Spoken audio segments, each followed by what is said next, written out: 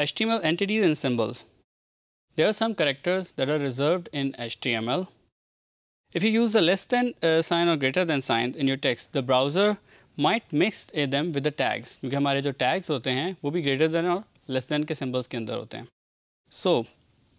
हम इसको किस तरह से display कर सकते हैं अगर हमें कोई भी entity display करनी हो तो हमारे पास दो तरीके होते हैं उसको display करने के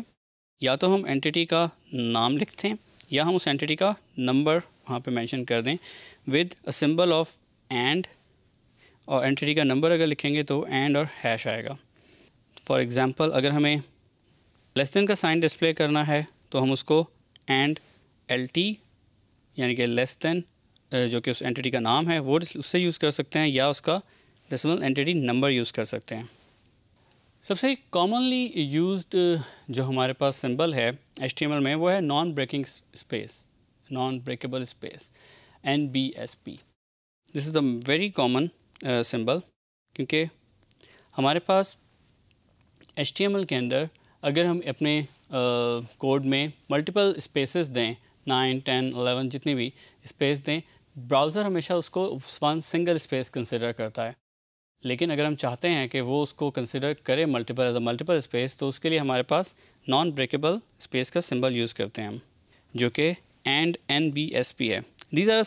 some typical entities और सिम्बल्स हैं जो कि स्टैंडर्ड ब्राउज़र यूज़ करते हैं एच टी एम एल के में डिफरेंट करेक्टर्स uh, को रिप्रेजेंट करने के लिए like for less than N B S P is the most common one non breakable space and then less than, greater than, जो कि हमारे सिम्बल्स भी यूज़ हो सकते हैं एम परसेंट का साइन है, and others you can all have all of these in your handouts combining director diacritical marks diacritical marks जो हैं, जो कि गिल्प से होते हैं और नॉर्मली यूज़ किए जाते हैं मुख्तलिफ़ एसेंट्स को प्रजेंट करने के लिए मुख्तलिफ़ लैंग्वेज में। और नॉर्मली किसी एक करेक्टर सेट का हिस्सा नहीं होते। तो इनके लिए हमारे पास ये डायक्रिटिकल मार्क्स जो हैं उनको किस तरह हम यूज़ करते हैं? हम उनको नॉर्मली यूज़ करते हैं किसी भी अल्फ़ा नुमेरिक करेक्टर्स के साथ यूज़ कर सकते हैं जो कि प्रेजेंट कर, करते हैं कि उस पर्टिकुलर करेक्टर का एसेंट क्या होगा? Like it's mostly most common in French language and German these are typical example of those we have if you want to use this particular mark with the character A तो हम क्या करेंगे? हम उस particular character को present लिखेंगे फिर हम एंड एंड हैश का साइन यूज़ करेंगे and then we use the number for that particular mark.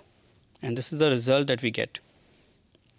You can have a list of all of these characters and all of these uh, marks जो कि आप use कर सकते हैं H T M L के अंदर. You can have a look into it in your handouts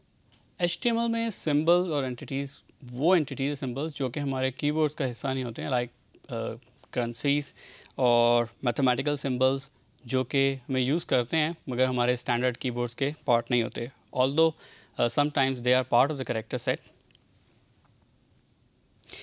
हम इनको यूज़ करने के लिए क्या करते हैं? हम इनको यूज़ करने के लिए सिम्बल्स को हम उनका डेसिमल या हेक्सा डेसिमल नंबर या उनका नेम यूज़ करते हैं नंबर यूज़ करते हैं स्टैंडर्ड फॉर एग्ज़ाम्पल हमने यूरो के सिंबल को यूज़ करने के लिए स्टैंडर्ड सिंबल को यूज़ करने के लिए यहाँ पे एंड यूरो करके यूज़ कर सकते हैं, उसके नाम के साथ, उसके डेसिमल के साथ, या उसके हेक्सा डेसिमल कोड के साथ उसको यूज़ कर सकते हैं।